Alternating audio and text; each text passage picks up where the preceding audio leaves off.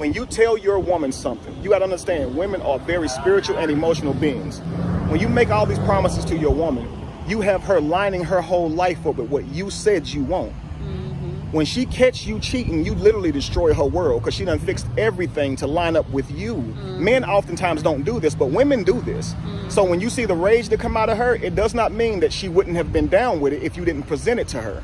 It's cause she lied. Many women will tell you, bro, if you didn't just lie, I could deal with you, but you a liar and I can't trust you now. You see what I'm saying? So it, a lot of women have e- even accepted that men like sex. They're gonna they're gonna have it.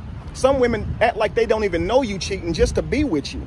And, you most women, I was gonna say, most women honestly believe that men are not capable of, of being faithful. Right. so they've already accepted that as a uh-huh. truth. They be like, so men you gon' can just- cheat. Yeah. Yeah, men gonna do what they do. Yeah. So mm-hmm. if if you're dealing with a woman that already knows that, she would be more more open to accepting the reality of the situation as opposed to dealing with a liar. When you're dealing with a liar, is you created a reality for me that I didn't know about. Mm-hmm. And that's where all the rage comes from. Is I said in one of my previous lives that I can do anything as long as I know what I'm getting into. when you right. take away what I'm getting into and you blindside me, it's a totally different reaction than it would have been had you have just been up front.